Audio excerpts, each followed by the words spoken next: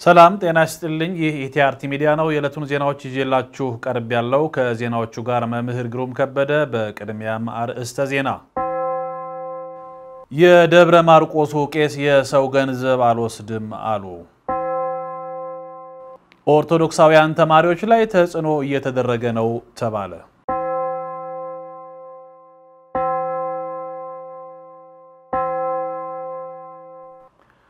ወደ ዝርዝሩ እናልፋለን።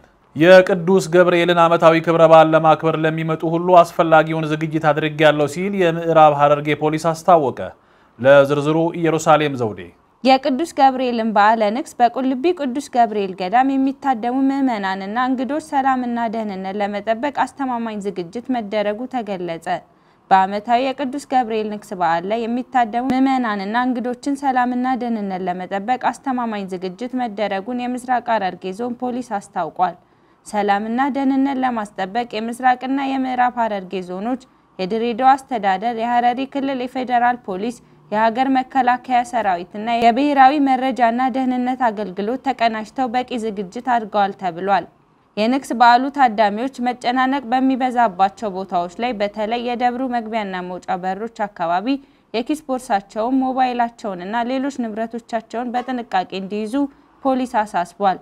በንግስ በዓሉ ላይ ሶስት ጊዜያዊ ፖሊስ ጣቢያና የወንጀል ድርጊት ተጠርጣሪዎች ሲያዙ ውሳኔ ለመስጠት አቃቤ ሕግና ጊዜያዊ ፍርድ ቤት ተቋቁሟል።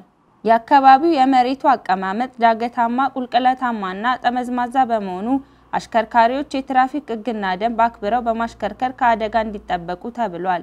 ከዛሬ ጀምሮ እስከ ሐምሌ 19 ቀን 2014 ዓ.ም ከሰዓት በኋላ ከጨለንቆ ከተማ እስከ ቀርሳ ከተማ ባለው ዋና የተሽከርካሪ መንገድ ላይ ከባድ መኪና ማለፍ የተከለከለ መሆኑን ፖሊስ አሳስቧል። ማህበረ ቅዱሳን በአዲስ አበባ ማዕከል ጠቅላላ ጉባኤውን እያከናወነ ነው።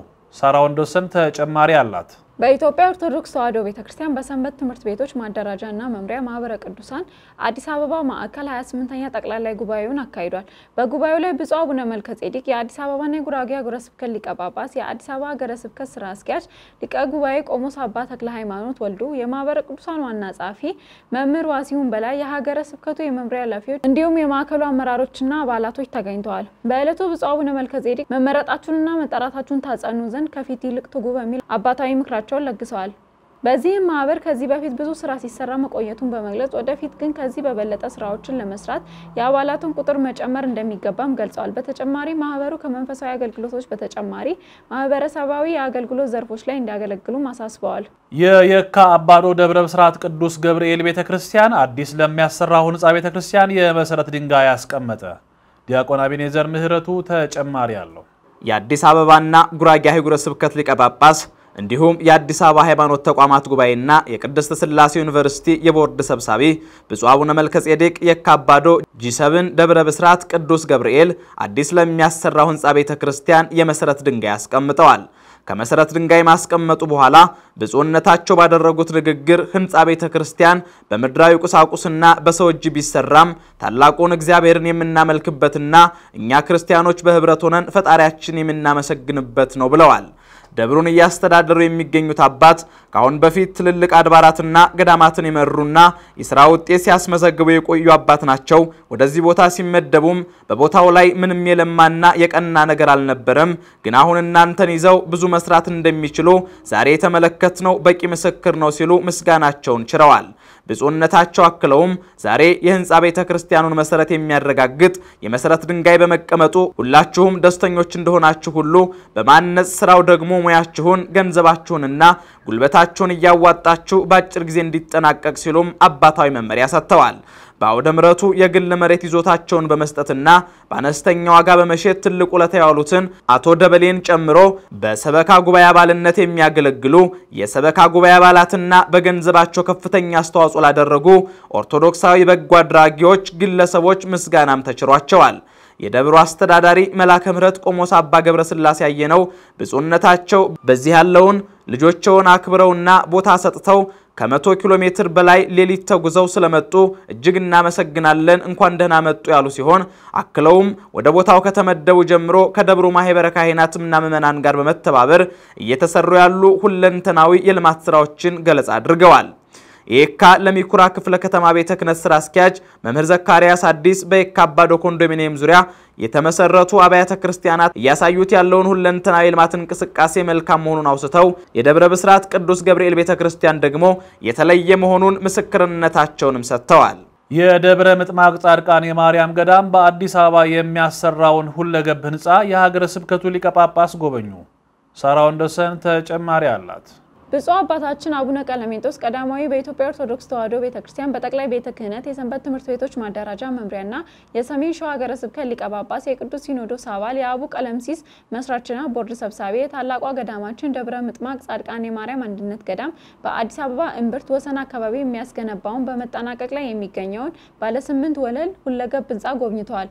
ብፁዕነታቸው በጉብኝታቸው ወቅት የቅዱስ ይስሐቅን አስተምሮ ጠቅሰው ለገዳማውያን ባስተላለፉት አባታዊ መልእክትና የስራ መመሪያ በመጀመሪያ ወደ ገዳም ስንገባ ራስን መግዛት ገንዘብ አድርገን የሚመጣብንን ምድራዊ ፈተና ለመቋቋምና በትዕግስት ለማለፍ ዝግጁ ሆነን ከውስጣችንና ከውጭ የሚመጣብንን ፈተና ታግሰን እስከ መጨረሻው የህይወት መስዋዕትነትን ለመክፈል መሆኑን መገንዘብ ያስፈልጋል በማለት ገዳም የዲያብሎስ ምሽግ በጸሎት የሚፈርስበት በጸሎት እሳት የታጠረ የምድራውያን መላእክት ከተማ የትጉሃን ሰራተኞች መገናኛ መሆኑን በአጽንኦት አሳስበዋል። በተለይም ካለፉት ረጅም ዘመናት ጀምሮ የስልጣኔና የልማት ፈርቀዳጅ የሆነችው ቤተክርስቲያናችንን እንደ ኋላ ቀር አይተው ለሚፈርጁ አካላት ይህ የተገነባው ሁለገብ ህንፃ በአንድ እጃችን ጸሎት በሌላው እጃችን ልማት የምናፋጥን የሀገር ባለውለታ መሆናችንን የሚያሳይ የዘመናችን ህያው ምስክር መሆኑን አውስተው ለዚህ ግንባታ በሀሳቡም በእውቀትም በገንዘብም በማቴሪያልም በጎ አስተዋጽኦ ላደረጉ ለገዳሙ ደጋፊዎች በሙሉ አባታዊ ምስጋና አቅርበዋል። የጅማ ሀገረ ስብከት አርባኛውን የመንበረ ጵጵስና ሰበካ መንፈሳዊ ጉባኤ ማካሄድ ጀመረ።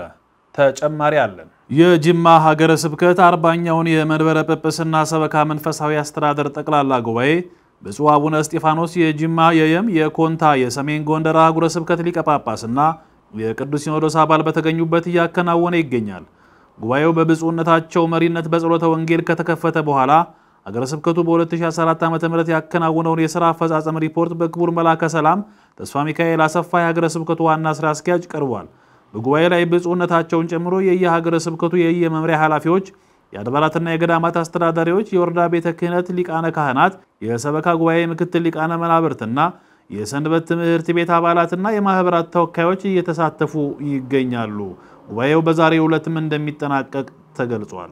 በጉራጌ ዞን በጉንችሬ ከተማ በኦርቶዶክሳውያን ተማሪዎች ላይ ማሸማቀቅና እንግልት እየደረሰ እንደሆነ ተገለጸ።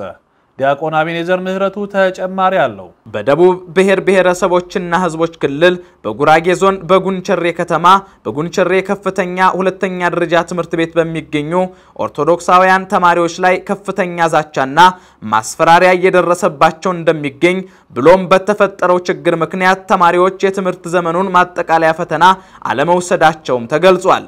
መረጃውን ያደረሱን ኦርቶዶክሳውያን ተማሪዎች እንደገለጹት በትምህርት ቤቱ ቅጥር ግቢ ኦርቶዶክሳውያን መምህራኖችና ተማሪዎችን ማዋከብና ማንገላታት ብሎም ማስፈራራት፣ ከክርስቲያኖች ጋር አትቀመጡ ብሎ ማሸማቀቅ፣ የክርስትና አማኝ ተማሪዎችን መምህራን ላይ ዛቻና ዘለፋ ማካሄድ፣ በተማሪዎች ላይ ያለአግባብ ውጤት መቀነስ፣ የታሪክ ትምህርት ላይ ስለ ክርስትና የሚያወሱትን የታሪክ ክፍልና መማር አንፈልግም፣ ስለ ክርስትና ማወቅ አንፈልግም የሚሉ ተማሪዎች የመማር ማስተማር ሂደቱን ማወክ፣ የተለያዩ የእምነት መጻሕፍትን በመያዝ ክፍል ውስጥ በመሰባሰብ ድምፅ አውጥቶ በመጮህ የትምህርት ሂደቱን መረበሽ እንደሚገኙበትም ተገልጿል።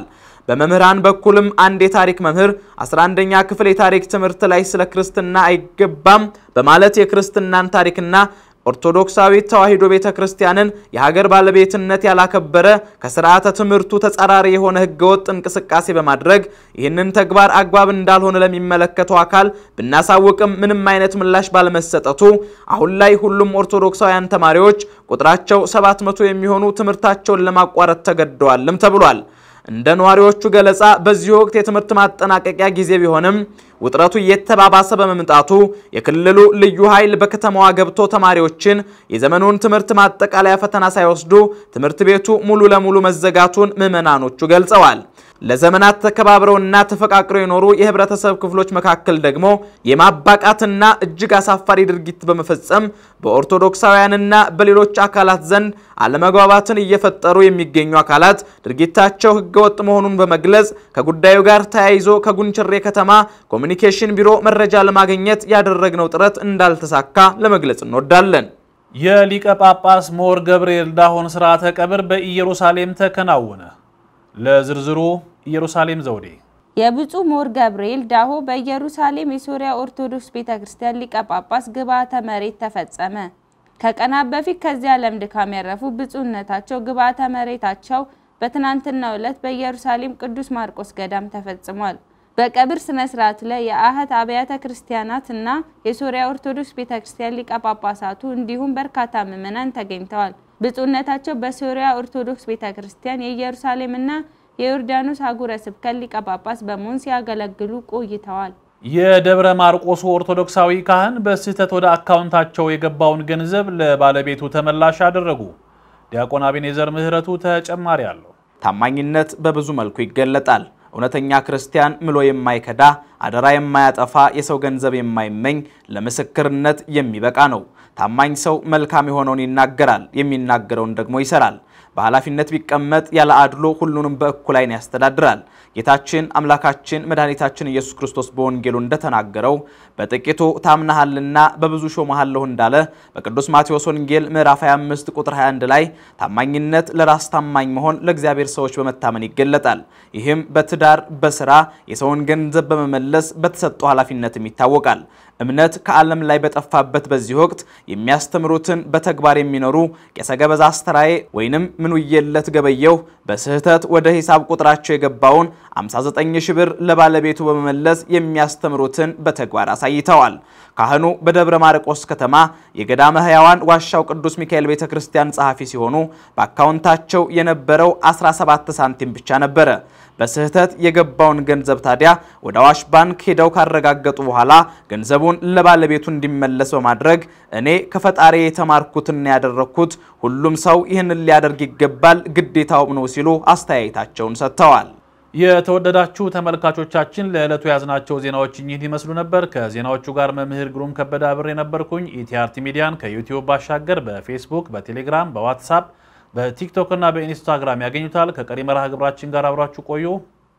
ሰላም